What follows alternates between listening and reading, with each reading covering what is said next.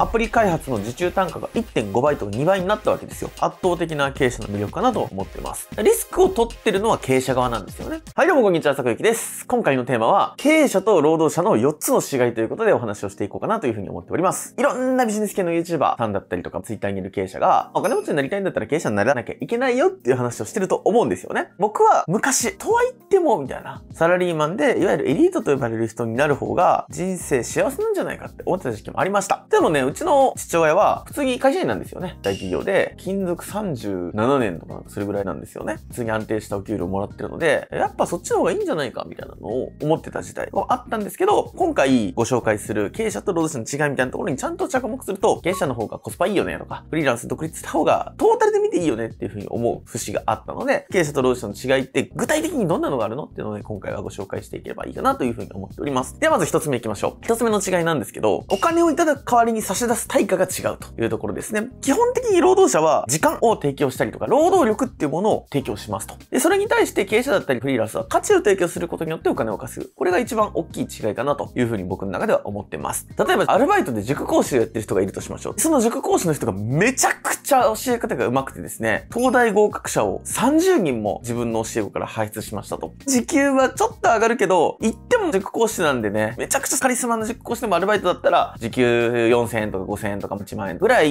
にしかならないんですよね。ただこれが、もし自分で経営してる塾だったらどうだろうということを考えてみてほしいんですよね。もし東大生を30人も年間で合格者出すことができればですよ。100人とか200人とかがその塾に押しかけてくるわけですよね。年間100万円払っててもいいですという風にして入塾者が流れ込んでくるわけです。仮に200人100万円取ったら年間2億ですからね。これはえぐいですよと。月8万円の月謝をいただくだけでそういう風になっちゃうわけですからね。こういう風にさっきの塾講師のアルバイトをしてる労働者は自分がこう教えたりだったりとか、もしくは自分の時間を使って講義をするっていう。教えるって労働力だったりとか、教えるための時間っていうのを対価にしてお金を得ているから、収入に上限がありますよという話なんですよ。で、それに対して経営者だったりとかフリーランスっていうのは価値を提供することによってお金を稼ぐので、合格実績が全然出なかったらアルバイトよりも収入を下回ってしまうってことも全然あるし、逆にですね、合格実績を出せるような塾を経営してれば当たり前だけど、どんどんどんどん収入は青天井に伸びていくよという話なので、時間や労働力を対価に稼ぐか、価値を対価に稼ぐかっていうのが大きく違う。だから構造的に経営者の方がアッパーは高いよっていう風に言われてるわけですね。で、次、二つ目なんですけど、これもね、大きな違いで、学んだことがダイレクトに収入に直結する。これが労働者と経営者の結構違いだったりします。もともと僕もプログラマーだったんですけど、プログラマーでアルバイトをしてたんですよね。アルバイトをしてた時に新しいプログラミング言語とか学ぶわけです。僕もともとエンジニアとして、ウェブサービスの開発をやってたんですけど、ウェブサービスの開発だけじゃなくて iPhone アプリの開発もできますという風になったんですが、別に時給が上がることはありませんでしたと。ただのエンジニアだし、ただの開発要員なんで、時給は強気だよねと。だって、ウェブサービス作るより iPhone のアプリを作る方が価値が高いかって言われると、そんなこともないからそうだよね、みたいな感じだったんですけど、ただこれが独立してから自分で案件を取るようになってどうなんだかっていうと、ウェブサービスだけ作れますっていうより iPhone アプリも巻き取れますよ。ウェブ版作ったら iPhone アプリも作ってリリースしましょうっていう提案したら、そのアプリ開発の受注単価が1.5倍とか2倍になったわけですよ。これが学んだことがダイレクトに収入に直結するっていうメリットというか、労働者だったら頑張って頑張って勉強しても全然報われないから、勉強することの価値が低くなっちゃうんですよね、どうしても。それに対して経営者だったりとかフリーランスっていうのは勉強して、1個目でも言ったんですけど、価値を対価にしてお金を稼ぐので、勉強することによって自分が提供できる価値が大きくなる。で、自分が提供できる価値が大きくなったら、より大きな金額を稼げるということで、自分が勉強することによって収入を上げることに直結させることができるんで、労働者より経営者の方が得だよっていう話をみんなしてるわけです。で、次、3つ目なんですけど、時間的な自由が手に入りやすい。これもね、経営者の特徴だったりします。昨日もね、ちょうど朝の6時ぐらいまで別のことをしてて、知り合いの人とね、お仕事の話をしながら飲んでて、YouTube チャンネル一緒に作ってる方なんですけど、今日も